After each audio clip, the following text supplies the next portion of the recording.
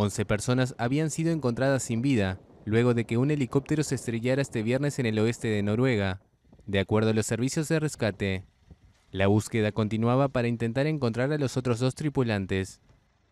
Según las primeras informaciones, se trataba de un helicóptero que hace el puente aéreo entre el continente y las plataformas petroleras del Mar del Norte. Viajaban en él 11 noruegos, un británico y un italiano.